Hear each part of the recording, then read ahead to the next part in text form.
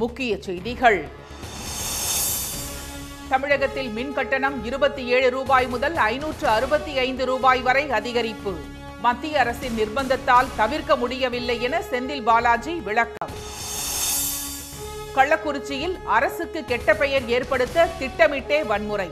கடும் நடவடிக்கை எடுக்கப்படும் என ஏவா வேலு எச்சரிக்கை. தமிழகத்தில் குரங்கு அம்மை நோய் பாதிப்பு இல்லை. மக்கள் நல்வாழ்வுத்துறை அமைச்சர் மா. சுப்பிரமணியன் தகவல். நீட் தேர்வில் ஆள்மாறாட்டம் செய்த எட்டு பேர் கைது. உடந்தையாக இருந்த ஆசிரியர்கள் உள்ளிட்டோரிடம் தீவிர விசாரணை.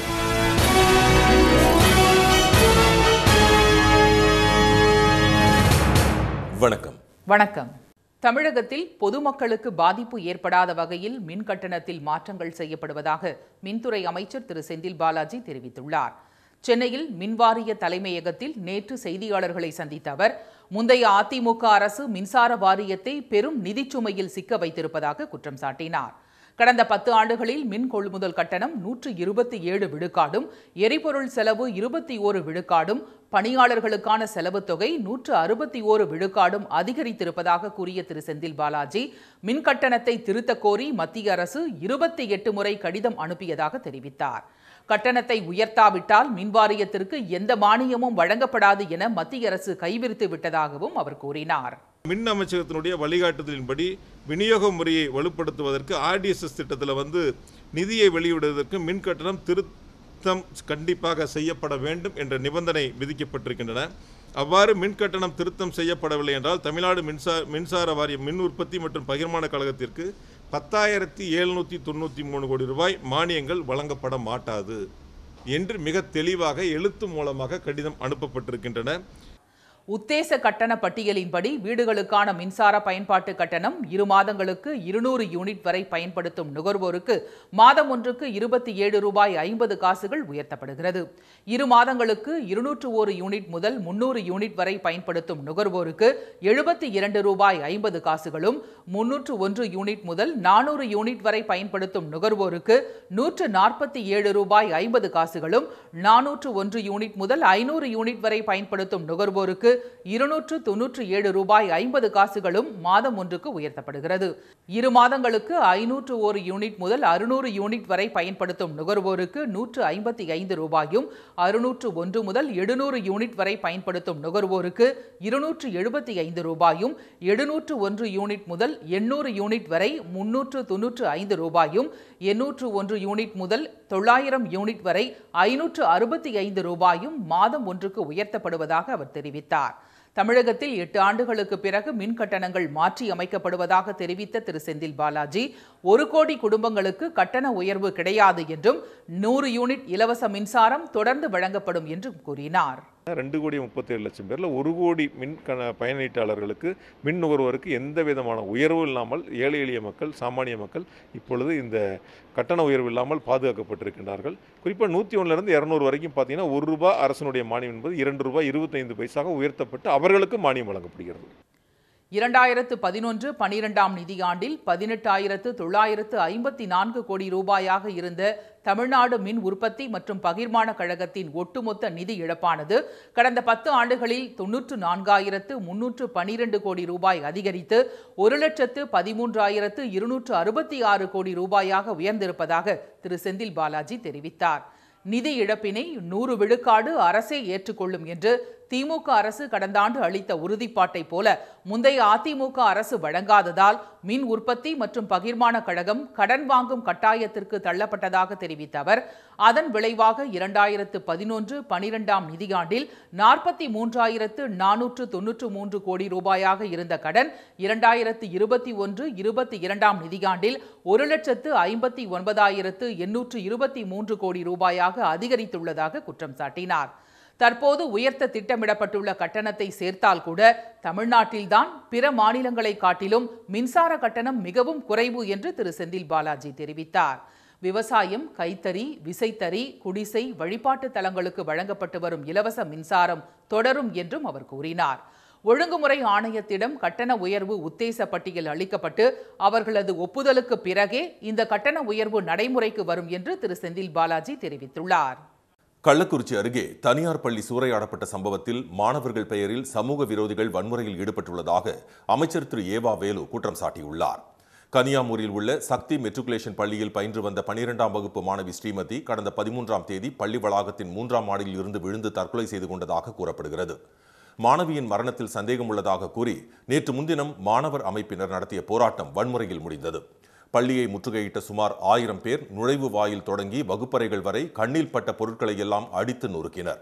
பள்ளி வளாகத்தில் நிறுத்தி வைக்கப்பட்ட பேருந்துகளை சேதப்படுத்தியதுடன் அவற்றிற்கு தீ வைத்து எரித்தனர். பாதுகாப்பு பணியில் இருந்த காவலர்களும் தாக்கப்பட்டு அவர்களது வாகனங்கள் தீக்கிரையாக்கப்பட்டன. அடுத்து களமிறங்கிய அதிரடி படையினர் வன்முறையில் ஈடுபட்டவர்கள் மீது தடியடி நடத்தியதுடன் அவர்களை கைது செய்தனர். இந்நிலையில் தமிழக அரசு சார்பில் அமைச்சர்கள் திரு. ஏவா வேலு திரு. அன்பில் மகேஷ் பொய்யாமொழி ஆகியோர் நேற்று பாதிக்கப்பட்ட பள்ளியை ஆய்வு செய்தனர்.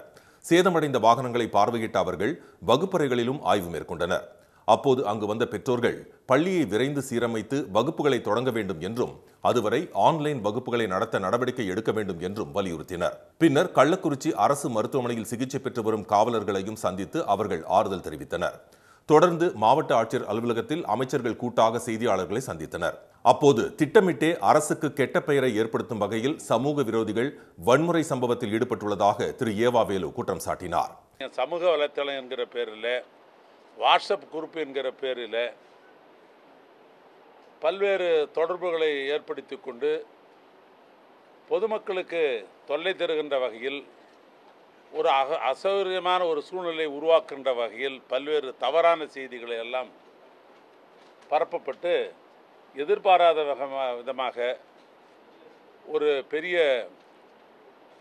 மாணவர்கள் பழைய மாணவர்கள் மாணவர்கள் என்ற போர்வையில் பல பேர் அந்த பள்ளி முன்னால் கூடி ஆர்ப்பாட்டம் என்ற பெயரில் நடத்த வேண்டும் என்று அந்த வாட்ஸ்அப் சொல்லப்பட்டது. மூவாயிரத்து ஐநூறு மாணவர்கள் படிக்கும் பள்ளியில் பேருந்துகள் காவல்துறை வாகனங்கள் உட்பட அறுபத்தி ஏழு வாகனங்கள் சேதப்படுத்தப்பட்டுள்ளதாக கூறிய அவர் நீதி கேட்டு போராடுபவர்கள் தீயிட்டு கொளுத்தலாமா என கேள்வி எழுப்பினார்.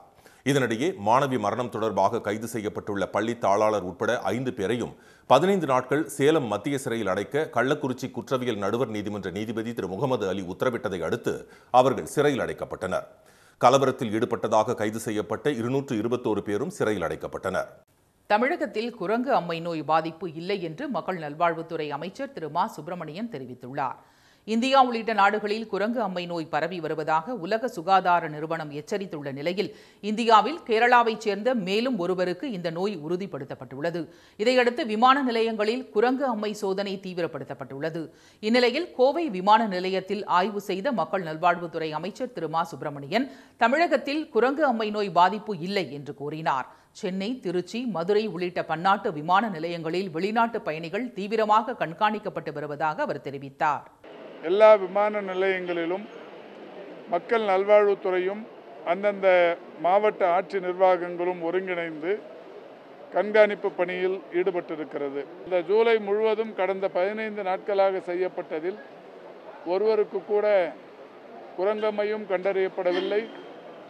கொரோனா பாசிட்டிவும் கண்டறியப்படவில்லை. உலக அளவில் அறுபத்தி மூன்று நாடுகளில் குரங்கு அம்மை நோயின் தாக்கம் உள்ளதாக திரு. சுப்பிரமணியன் கூறினார். தொற்று கண்டறியப்படும் பயணிகளை தனிமைப்படுத்தி சிகிச்சை அளிக்க வசதிகள் செய்யப்பட்டுள்ளதாக அவர் தெரிவித்தார். நாள்தோறும் நூற்று எழுபது பேர் என்ற கணக்கில் வெளிநாடுகளிலிருந்து தமிழகத்திற்கு வருவதாகவும் அவர்களிடம் நடத்தப்பட்ட பரிசோதனைகளில் யாருக்கும் கொரோனா மற்றும் குரங்கு அம்மை நோய்க்கான அறிகுறிகள் தென்படவில்லை என்றும் திரு. சுப்பிரமணியன் கூறினார்.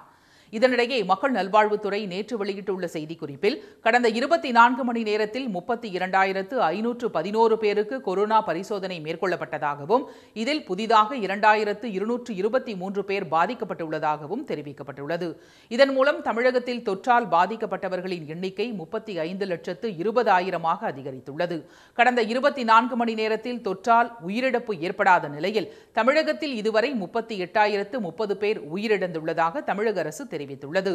கொரோனா தொற்று ஏற்பட்டு சிகிச்சை பெற்று வந்த இரண்டாயிரத்து நானூற்று இரண்டு பேர் குணமடைந்து வீடு திரும்பிய நிலையில் தொற்றிலிருந்து மீண்டவர்களின் எண்ணிக்கை முப்பத்தி நான்கு லட்சத்து அறுபத்தி ஐந்தாயிரத்து அறுபத்தி நான்காக உயர்ந்துள்ளதாக அரசு கூறியுள்ளது. மாவட்ட அளவில் சென்னையில் ஐநூற்று எழுபத்தி ஐந்து பேரும் செங்கல்பட்டில் முன்னூற்று எட்டு பேரும் திருவள்ளூரில் நூற்று அறுபத்தி ஐந்து பேரும் கோவையில் நூற்று அறுபத்தி இரண்டு பேரும் புதிதாக தொற்றால் பாதிக்கப்பட்டுள்ளனர். நீட் தேர்வில் இந்த ஆண்டும் ஆள் மாறாட்டம் நடைபெற்றிருப்பது அதிர்ச்சியை ஏற்படுத்தியுள்ள நிலையில் முறைகேடு தொடர்பாக எட்டு பேரை சிபிஐ அதிகாரிகள் கைது செய்துள்ளனர். இளநிலை மருத்துவ படிப்புக்கான நீட் நுழைவுத் தேர்வு நாடு முழுவதும் நேற்று முன்தினம் நடைபெற்றது. நடப்பாண்டிலும் கடும் சோதனைகளுக்கு இடையே நடைபெற்ற இந்த தேர்வில் ஆள் மாறாட்டம் நடந்ததாக வெளியாகியுள்ள தகவல் அதிர்ச்சியை ஏற்படுத்தியுள்ளது. இது தொடர்பாக விசாரணை மேற்கொண்ட சிபிஐ டெல்லியை சேர்ந்த சிலருக்காக ஆள் மாறாட்டம் நடைபெற்றதை கண்டுபிடித்துள்ளது. சுஷில் ரஞ்சன் பிரிஜ் மோகன் சிங் பப்பு நிதி உள்ளிட்ட பனிரெண்டு பேர் குற்றவாளிகளாக முதல் தகவல் அறிக்கையில் சேர்க்கப்பட்டுள்ளனர். இதில் ஆள் மாறாட்டத்திற்கு மூளையாக செயல்பட்ட டெல்லியை சேர்ந்த சுஷில் ரஞ்சன் உள்ளிட்ட எட்டு பேரை சிபிஐ அதிகாரிகள் கைது செய்துள்ளனர். மற்ற நான்கு பேரையும் தேடி வருகின்றனர். கைது செய்யப்பட்டவர்களிடம் மேற்கொண்ட விசாரணையில் நீட் தேர்வு எழுதும் தேர்வர்களின் புகைப்படங்களுக்கு பதிலாக ஆள் மாறாட்டம் செய்பவர்களின் புகைப்படங்களை மார்ஸ் தொழில்நுட்பத்தில் மாற்றி தேர்வு எழுதியது தெரியவந்துள்ளது. இந்த போலி தேர்வர்களுக்கு நீட் பயிற்சி மையத்தில் உள்ள சில ஆசிரியர்களும் உடந்தையாக இருந்ததும் விசாரணையில் தெரிய வந்துள்ளது.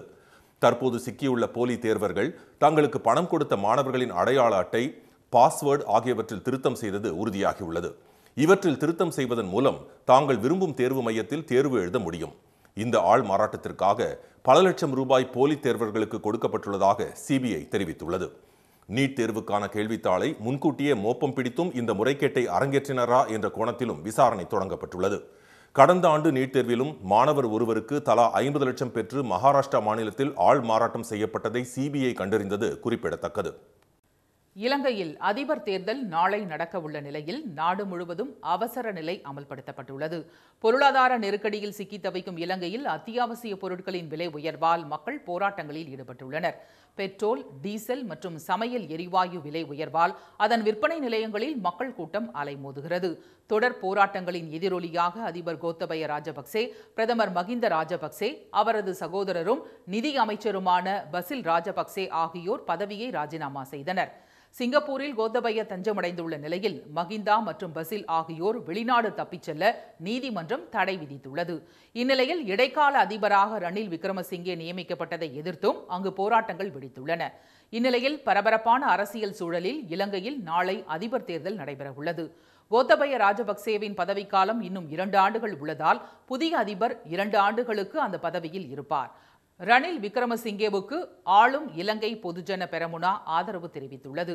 இவருக்கு போட்டியாக எதிர்க்கட்சி தலைவரான சஜித் பிரேமதாசாவும் ஜனதா விமுக்தி பெரமுனா தலைவர் அனுரா குமார திசநாயக்கே மற்றும் இலங்கை பொதுஜன பெரமுனாவிலிருந்து பிரிந்து சென்ற டல்லாஸ் அழக பெருமாள் ஆகியோர் களத்தில் உள்ளனர். இந்நிலையில் அதிபர் தேர்தல் நாளை நடக்க உள்ளதை அடுத்து நாடு முழுவதும் அவசர நிலை அமல்படுத்த இடைக்கால அதிபர் ரணில் விக்ரமசிங்கே உத்தரவிட்டுள்ளார்.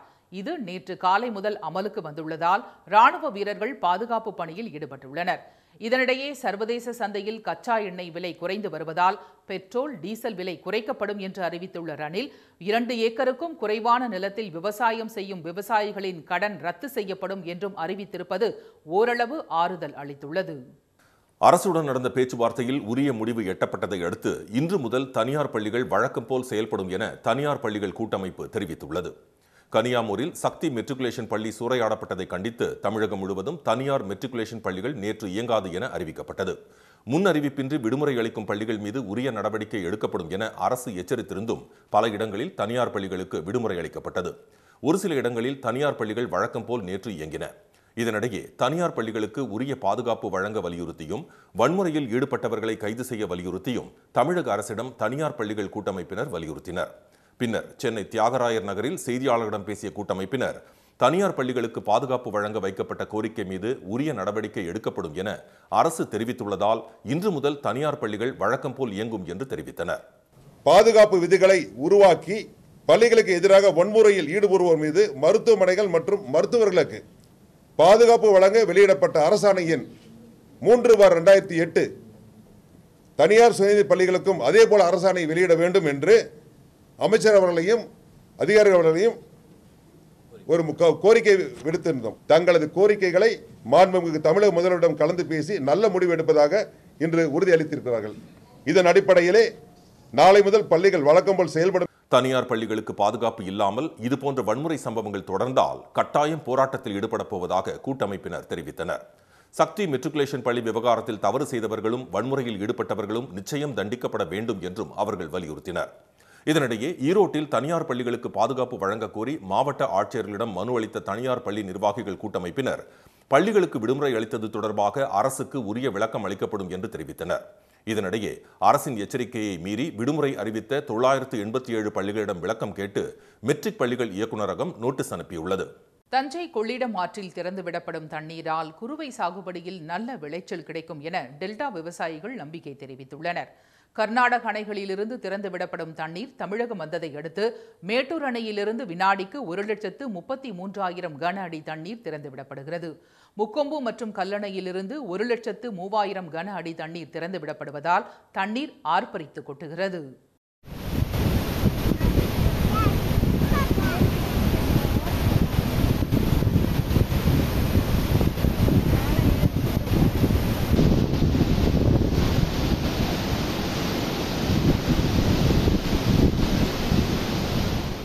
தண்ணீர் அதிகமாக செல்வதால் வெள்ளப்பெருக்கு ஏற்பட வாய்ப்புள்ளதாக கூறியுள்ள மாவட்ட நிர்வாகம் கரையோர மக்கள் பாதுகாப்பாக இருக்கும்படி எச்சரித்துள்ளது. இதனிடையே அணைகளிலிருந்து திறந்துவிடப்படும் தண்ணீர் கடைமடை பகுதிகளுக்கும் பாய்வதால் நல்ல விளைச்சல் கிடைக்கும் என விவசாயிகள் நம்பிக்கை தெரிவித்தனர். முன்கூட்டி தண்ணீர் திறப்பு ஆறுகள் வாய்க்காலில் தூர்வாரி கடமடை வரைக்கும் அனைத்து பகலும் குருவை சாகுபடி நடைபெறத்துக்கு வலியுறுத்தியிருக்காங்க. அந்த நிலையில் குருவை சாகுபடி தொண்ணூத்தஞ்சு சதவீதம் இப்போது நிறைவடைந்துக்கிட்டு இருக்கு. இந்த நிலையில் காவிரி ஆர்ப்பரித்து வருதுங்க. தஞ்சை மாவட்ட விவசாயிகள் சந்தோஷப்படுறோம். எதனால்னா காவிரி தண்ணி வந்து அளவோடு திறந்து விடும்போது முன்னாடி பின்னே எங்களுக்கு தண்ணி கிடச்சி. இப்போ தண்ணி பொங்கி வர்றதுனால எல்லா வேலையும் தண்ணி.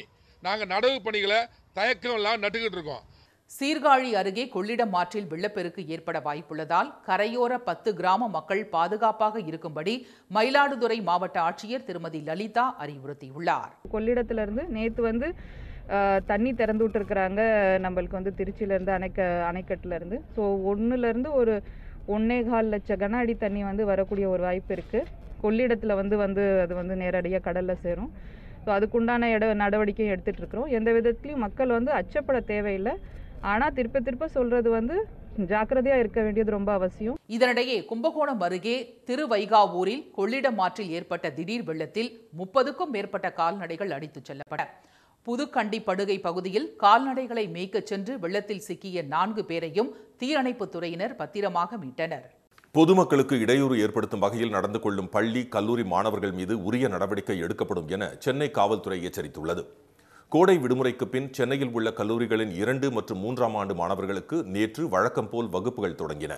இந்நிலையில் கீழ்ப்பாக்கம் பகுதியில் உள்ள பச்சையப்பன் கல்லூரியில் பயிலும் மாணவர்கள் ஐம்பதுக்கும் மேற்பட்டோர் மாநகர பேருந்தில் ஏறி தாளம் போட்டும் முழக்கமிட்டும் ஊர்வலமாக சென்றனர். அது மட்டுமின்றி ஓடும் பேருந்தில் ஏறியும் இறங்கியும் அவர்கள் ரகளையில் ஈடுபட்டனர்.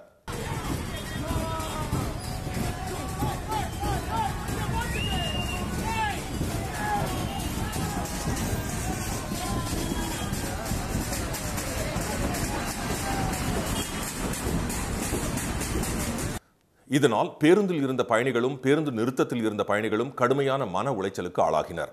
இதையடுத்து பாதுகாப்பு பணியில் இருந்த போலீசார் மாணவர்களுக்கு அறிவுரைகள் கூறி கல்லூரிக்கு அனுப்பி வைத்தனர். பச்சையப்பன் கல்லூரி வெளியேயும் போலீசார் பாதுகாப்பு பணியில் நிறுத்தப்பட்டனர். இதேபோல் அனைத்து வழித்தடங்களிலும் பேருந்து மற்றும் கல்லூரி அருகில் போலீசார் கண்காணிப்பு பணிகளை தீவிரப்படுத்தியுள்ளனர். இந்நிலையில் இனிவரும் காலங்களில் பள்ளி மற்றும் கல்லூரி மாணவர்கள் யாரேனும் வன்முறையில் ஈடுபட்டாலோ பொதுமக்களுக்கு தொந்தரவு ஏற்படுத்தினாலோ அவர்கள் மீது உரிய நடவடிக்கை எடுக்கப்படும் என சென்னை காவல்துறை எச்சரித்துள்ளது. படிப்பில் முழு கவனம் செலுத்தி மாணவர்கள் வாழ்வில் முன்னேற வேண்டும் என்றும் அவர்கள் அறிவுறுத்தியுள்ளனர். மயிலாடுதுறை அருகே பருத்தி மூட்டைகளுடன் விவசாயிகள் சாலை மறியலில் ஈடுபட்டதால் பரபரப்பு ஏற்பட்டது. செம்பனார் கோயிலில் உள்ள அரசு விற்பனை கூடத்தில் அப்பகுதிகளில் விளைவிக்கக்கூடிய பருத்திகளை விவசாயிகள் விலைக்கு விற்று வருகின்றனர்.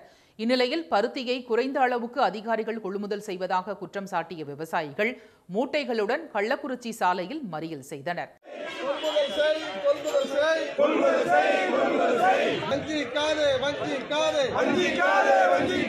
விவசாயிகளை வஞ்சிக்காதே.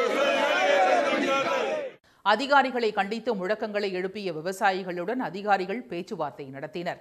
சம்பவ இடத்திற்கு சென்ற போலீசார் உரிய நடவடிக்கை எடுப்பதாக உறுதியளித்ததை அடுத்து போராட்டம் கைவிடப்பட்டது. இதற்கிடையே ஈரோடு மாவட்டம் அந்தியூர் ஒழுங்குமுறை விற்பனை கூடத்தில் நான்கு கோடி ரூபாய்க்கு பருத்தி ஏலம் போனதால் விவசாயிகள் மகிழ்ச்சியடைந்தனர்.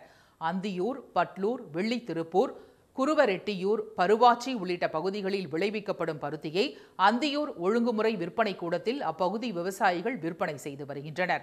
இந்நிலையில் அந்த ஒழுங்குமுறை விற்பனை கூடத்திற்கு எண்ணூறுக்கும் மேற்பட்ட விவசாயிகள் பத்தாயிரம் பருத்தி மூட்டைகளை நேற்று விற்பனைக்காக கொண்டு வந்தனர்.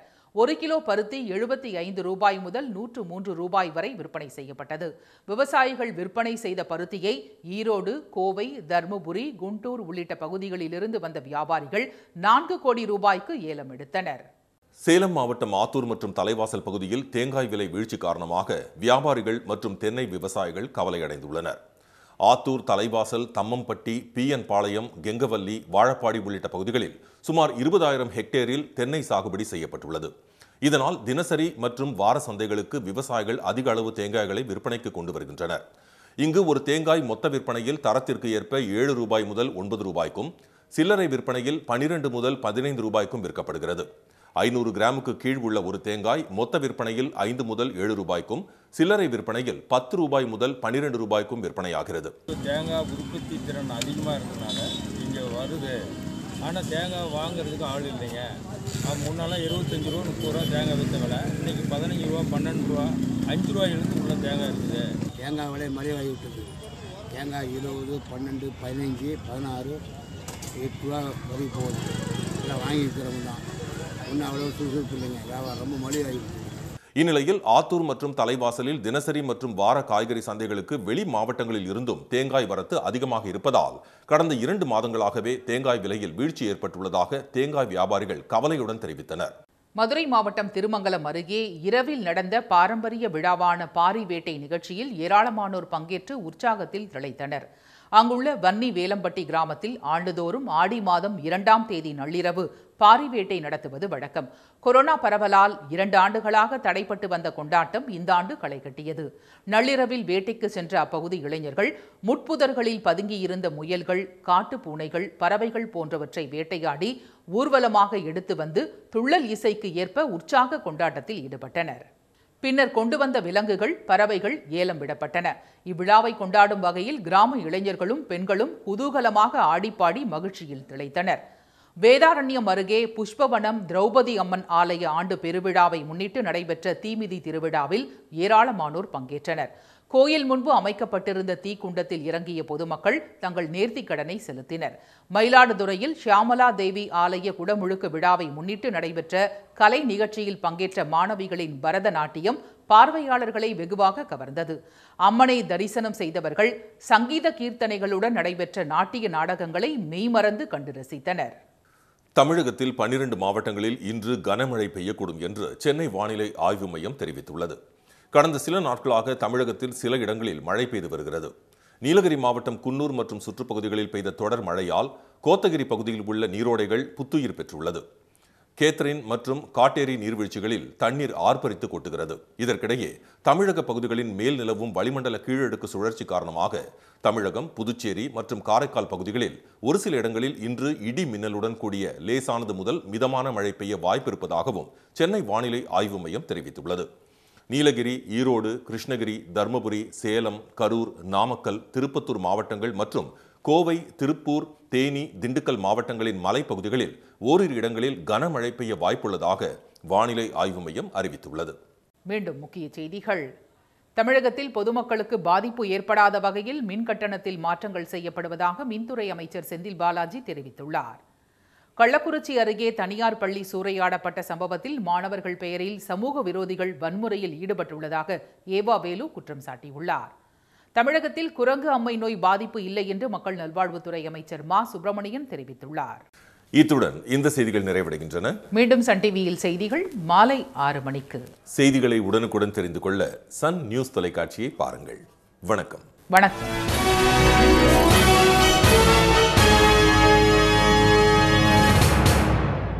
உடனுக்குடன் செய்திகளை தெரிந்து கொள்ள சன் நியூஸ் பெல் கிளிக் பண்ணுங்க.